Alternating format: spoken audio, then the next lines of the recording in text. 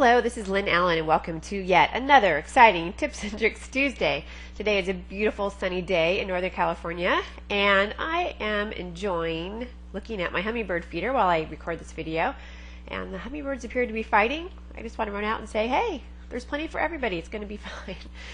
Anyway, today we're going to talk about one of my favorite Express tools, which of course now all of us can use who have AutoCAD, called Overkill.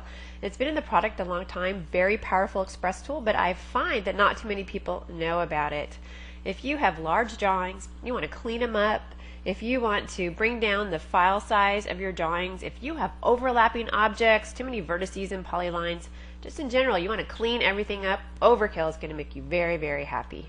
I just jumped over to AutoCAD and I was very excited that in AutoCAD 2010 they added a tab for Express Tools because let's face it, can't live without our Express Tools. And the icon, the tool that is for overkill is this little broom right here. I guess that's because it's going to clean up your drawing, right? Of course, with a name like overkill, I'm surprised there isn't like a slightly more violent icon like, I don't know, maybe a machine gun or something like that. Because let's face it, that's definitely overkill, right? So taking a look at the screen, I have a very simple drawing and uh, you know, you're probably going to want to do this type of a tool on a very large drawing, but I won't lie to you, it can take a few minutes, and, and I only have a few minutes with you, so I picked a very simple drawing to work with. So let's hit it. Let's hit the icon. I'm going to go ahead and grab all of the objects in my drawing. You can just go ahead and window them. You can do a control A to select everything, you know, whatever happens to work for you. Looks like I lost one down here. This one down here too. Bad shot today. Um, see, that's why I should have done a control A. But anyway, uh, I'm going to hit enter, and you'll see you'll be faced with this dialog box that's going to help Overkill know exactly what you have in mind. So you're going to be providing guidance to Overkill. So I'm going to be focusing on this part of the dialog box a little bit later because I have some examples I can actually show you. But taking a look up here, you'll see that it's going to ask you what things it should ignore. Maybe you have a line that's on top of another line, but they're on two different layers. Do you want it to get rid of one of those lines? It's completely up to you. So you're going to decide what it's going to ignore. Maybe you have two objects that are duplicate, but they have different line types or different colors. So that's what this part of that dialog box has to do with, and that's completely up to you, of course. Now this fuzz factor, which we often overlook, is actually a really important tool because this is also going to help Overkill clean up your drawing even more. So right now I have a fuzz factor of zero, which means all the objects have to be exact duplicates. So as far as size is concerned, so if you had a circle that had a radius that was 0.00001 difference in size from another circle, it would assume there were two distinct different objects and you would still have two objects, even though I bet you in reality that's probably just an oversight. So this fuzz factor is quite kind of important. So that's up to you.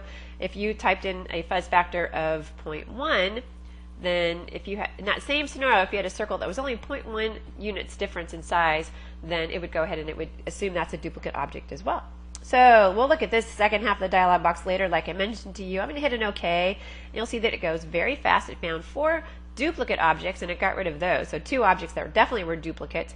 And then it also deleted some other objects. Maybe they were overlapping. Maybe there were different. there were uh, additional vertices inside of polylines that thought we didn't need.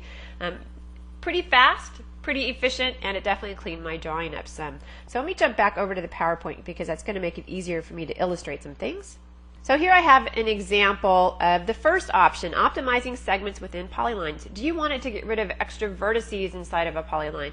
Or in this case, I actually have an overlap right here. So there are two polyline segments here, as, even though it's just one polyline. Would you like it to get rid of that extra one? You can see in this case, it brought it down from five segments to four segments. Hey, every segment helps, right? And here I have a scenario where I have overlapping objects. So here, this, these red X's indicate one line segment. These blue X's is another one. You can see there's an overlap right in there. Do you want over, do you want overkill to clean it up? I'm going to say more than likely you do because we all know what happens when we have overlapping lines. We get extra he heavy segments when we print it, and how irritating is that, right? Very irritating. Same scenario here with an arc. It would clean this up and give you just one continuous arc. Another scenario you might be interested in is end-to-end. Maybe that's important to you. So here we have two line segments, but they both share an end point. It's not really causing you too much grief, but wouldn't you rather just have one continuous line? Here's another example with an arc. So before I leave you, let me show you an example of what happened when I ran overkill on a much larger drawing. I won't lie to you, like I said, it will take me a couple of minutes to, to, to run this command on this drawing, and since I only have a couple of minutes with you, I decided that I wasn't going to go that route. So in this scenario, it found over 1,400 duplicates that it you know, very, very impressive that it was able to get rid of, and a total of almost, you know, 770 objects there. Very, very impressive.